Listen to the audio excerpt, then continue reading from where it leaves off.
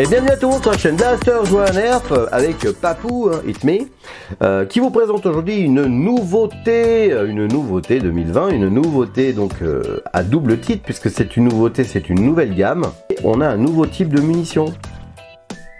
Ah, dis donc, c'est sympa ça, ça c'est de la nouveauté. Ça s'appelle le Nerf Ultra 2. On a aussi l'Ultra One.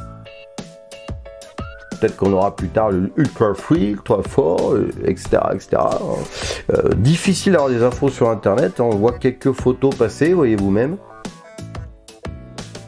C'est un blaster électrique qui tire en coup par coup, toujours le système des euh, galets, des flywheels. Hein, bon. Donc en format pistolet, hein, en, mode, euh, en mode pistolet de cowboy, tu vois, avec un barillet à l'arrière, on charge par l'arrière comme ça. Voilà. Ça c'est génial. Hein. Puis alors c'est très souple, hein, tu vois, ça, ça, me plaît. On va faire vite fait le tour de la boîte. La boîte, alors la boîte elle nous dit quoi Cette jolie boîte, hein. Nouveau type de boîte, hein, dorée, très sympa, avec euh, biseauté sur le côté. Donc ça nous dit quand même que tout est très très euh, ultra.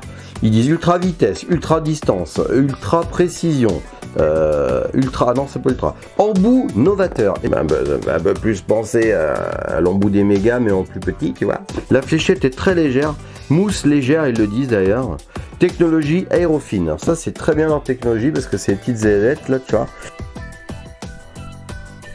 Et on est vraiment beaucoup plus proche au final euh, bah, des vraies fléchettes, tu vois, parce qu'on a plusieurs ailettes pour stabiliser ta fléchette dans l'air, tu vois. Portée de 36 mètres. au début, je rigolais, tu vois, d'accord. Et eh bah, bon, on n'est pas à 36 mètres, mais vous verrez les tests tout à l'heure. En cloche, on n'en est pas très loin. Brevet en instance. Hein, on comprend ce que tu veux comprendre avec ça. Pas dans les yeux, pas dans la tronche, tout ça, on savait. C'est pour les 8 ans et plus, tu vois, malgré que ce soit euh, une technologie qui tire euh, quand même mm, aussi loin, voire plus loin que certains rivales. Là, c'est pour les 8 ans et plus. Ce n'est pas pour les 14 ans et plus. Papou, il y a pas mal qui le donne environ à 90 fps, c'est quoi ça tire Ça pète, hein, ça pète, hein Certainement dû à la fléchette, enfin, ce n'est que mon avis, hein, euh, plus légère. Il y a quand même quelque chose de tendancieux là-dedans. Euh, parce que tu vois, c'est marqué dessus, il y a drapeau allemand qui est barré, c'est marqué l'utilisation de ce produit incluant sa vente et sa distribution est interdite en Allemagne. Tu vois, eux, ils n'ont pas eu la norme euh, jouet nécessaire pour pouvoir le diffuser. Donc tu vois, ça n'a pas dû leur plaire que ce soit un peu hybride entre le rival et le nerf, tu vois, je sais pas trop. C'est fourni avec 6 fléchettes de ce type-là, c'est dommage qu'on ait pas plus que vu le prix de la fléchette, c'est vraiment dommage. C'est un petit peu du radin tout ça. Ça utilise 6 piles 1V5 AA LR6.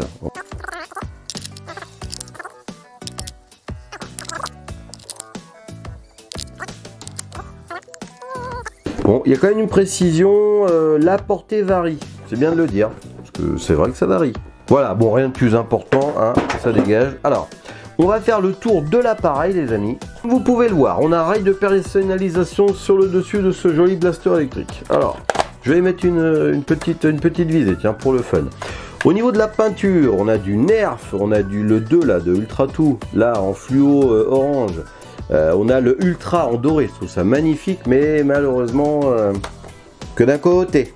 On a le fameux barillet à l'arrière qui reste toujours souple, pas comme certains nerfs qui claquent à mort quand tu veux les charger, tu sais, ça, ça tourne très vite et très souple, il y a un tout petit cran très léger. On a un dessin de la flèche pour te dire bien dans le bon sens, faut la mettre. D'accord La trappe de désenrayement, si tu as une fléchette qui s'enraye. Et ça s'enraye, hein, parce que tu vois quand tu lances tes moteurs et que tu y vas trop doucement, ça tire et, des fois, ah, ah, tu vois, voilà. Voilà. De temps en temps, t'en coinces une. Bon, pas tout le temps. Et tu arrives à cisailler le bout du polystyrène de temps en temps, tu vois, de la fléchette, ça m'est arrivé. Donc, faut toujours faire un, un franc mouvement bien, bien volontaire, tu vois.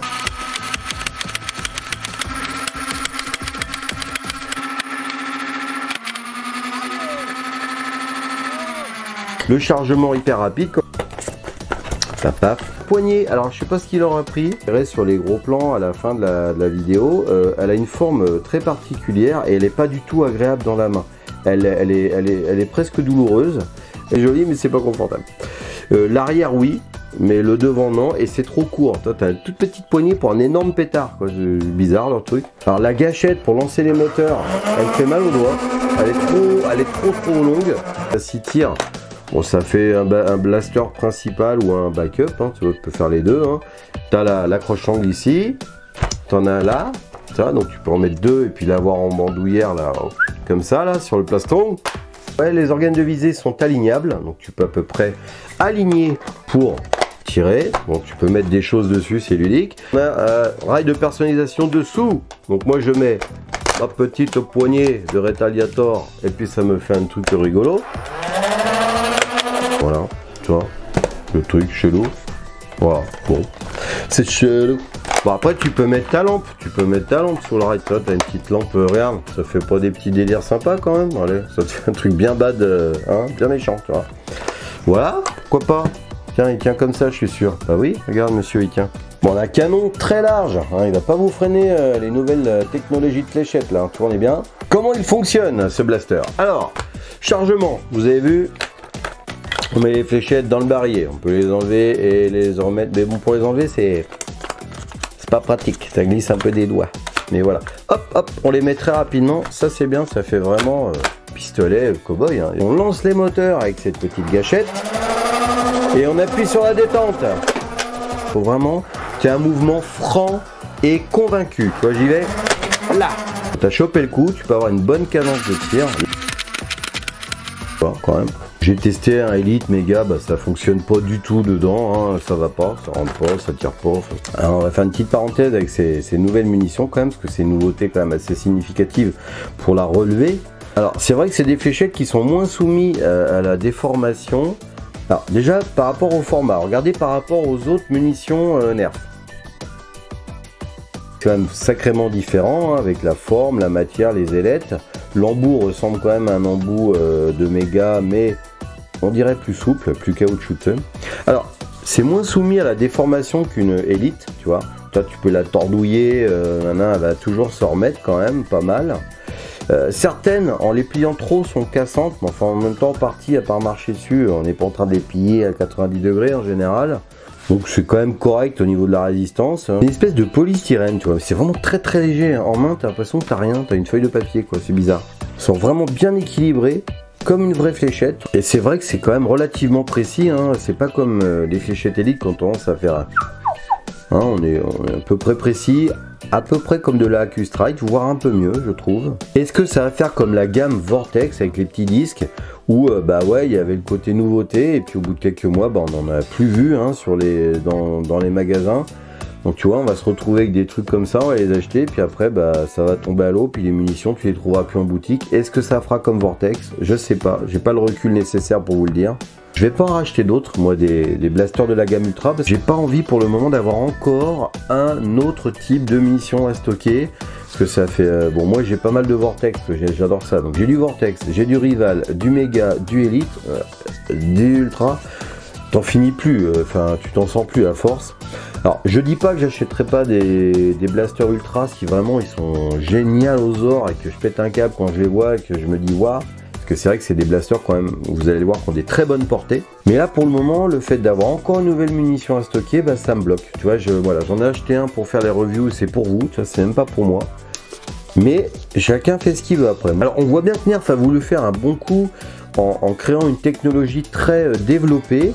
Alors ça va être très difficile pour la concurrence euh, de faire des contrefaçons de cette fléchette là sans manger un procès pour contrefaçon parce qu'on a vraiment une technologie très précise euh, alors qu'une élite tu vois tu peux encore euh, à quelques millimètres près en faire une différente un embout différent peut un peu loser le truc mais là ça va être chaud de copier ça quand même on verra Allez, assez parlé de cette nouveauté, cette nouvelle munition. On va aller voir quand même les portées de ce blaster qui sont pour le coup quand même assez sympas, voire très hallucinantes. Alors Vavan, on va lancer bien les moteurs en coup par coup, euh, tranquillou, en tir tendu. Vas-y Vavan. Alors 15 mètres. 17, 16, 15, 15, 15.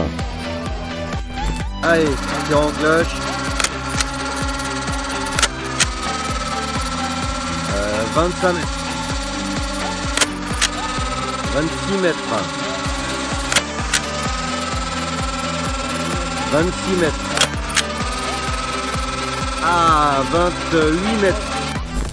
Allez, bon, bam. Bon, vous avez vu On a fait quand même en tir tendu comme ça entre 15 euh, et 17 mètres. Tranquille. J'avais une légère brise alors euh, devant. Est-ce que c'est ça qui bon Bon, j'ai dit là, jusque là, tout va bien, tu vois. Mais là, on voit vraiment que c'est une mini roquette, une mini fléchette parce que dès que tu es en cloche, tu atteins des portées de dingo. En cloche, comme ça, on a fait entre 20 et 28 mètres. T'entends ce que je te dis? Entre 20 et 28 mètres. Hein euh, Ça envoie quand même. Hein et euh, Vavan. En faisant une grosse cloche comme ça, j'ai fait 30 mètres. Hein Ou pas? Quand même. Euh, il a fallu que je modifie un rival, moi, pour arriver à cette portée-là. Certainement, du fait de cette fléchette très performante, très profilée, avec des ailettes, son poids très léger, c'est vrai que c'est bien, cette petite fléchette. Moi, j'aurais aimé, en fait, qu'il fasse une technologie de ce type-là, qui puisse aller dans nos blasters. Tu vois, bon. Bon, peut-être pas trop demander non plus. Maintenant, on va aller voir si c'est précis, mais vous avez déjà la réponse. Alors, c'est parti pour la tôle de fer Ou pas Eh ben non, c'est pas la tôle de fer. Hein. Donc, on va faire du test de précision. On va tirer à Vavan qui est à 10 mètres de moi. C'est parti Ah, je l'ai rasé. Dans, la, ah, dans le dos. Dans la jambe. Dans l'épaule. Dans l'épaule. Enfin, dans le bras.